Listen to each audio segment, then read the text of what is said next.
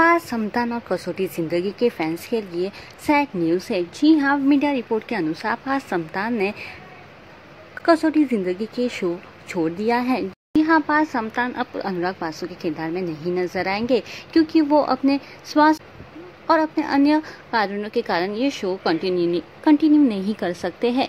ये खबर फैंस के लिए काफ़ी चौंकाने वाली है क्योंकि कोविड 19 से उभरने के बाद पार्थ ने पिछले सप्ताह कसौटी ज़िंदगी की शूटिंग शुरू कर दी थी। शो, शो के मेकर्स की ओर से अभी तक तो कोई बयान नहीं आया है।